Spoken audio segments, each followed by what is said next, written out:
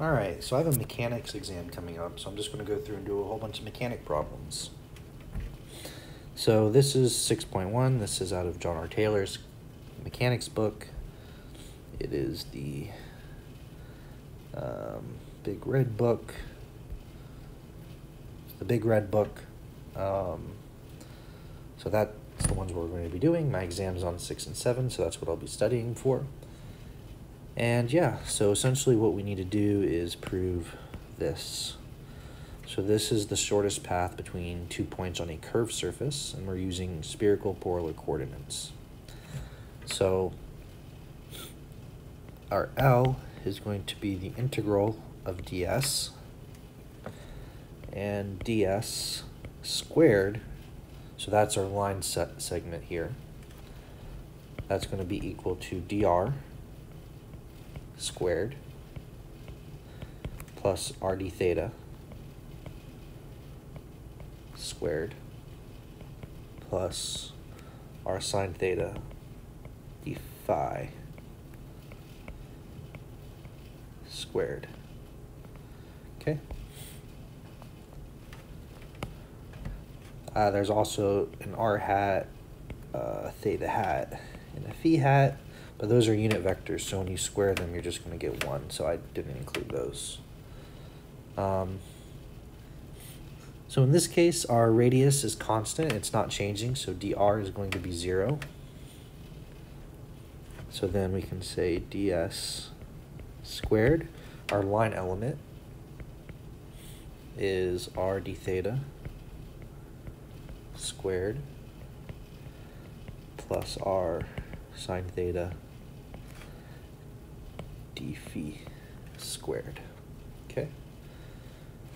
So taking the square root of both sides, and I'll go ahead and factor out an r. You're left with r squared d theta squared plus sine squared theta d phi squared.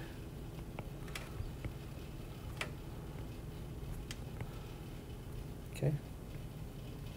And obviously the r squared can come out. And then I'm going to do something that looks kind of weird, and I'm going to factor out, I'll make this a little bigger. I want to factor out a d theta squared. And if I do that, this part will leave me with 1 plus, and then I'll still have my sine squared of theta, but I'll have d phi over d theta squared.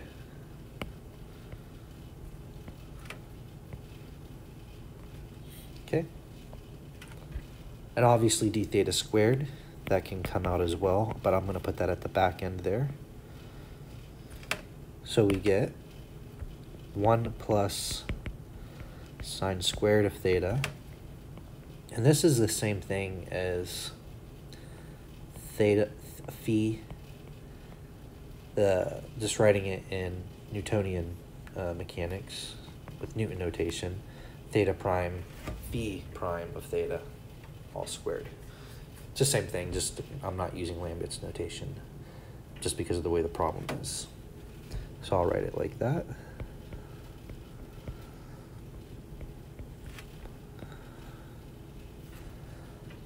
d theta. And again, L is the integral of ds. So the r is constant. I can factor that outside of the integral. We'll go from theta 1 to theta 2. And then we're left with our 1 plus sine squared theta phi prime of theta squared. And then d theta. And that is exactly what they have there. So that's all you have to do here, so not too bad.